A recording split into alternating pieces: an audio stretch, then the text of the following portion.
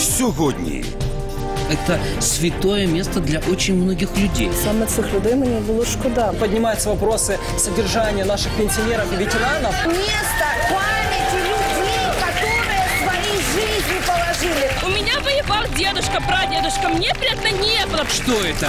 Гражданская позиция или преступление? говорить Україна сьогодні о 19.45 на каналі Україна.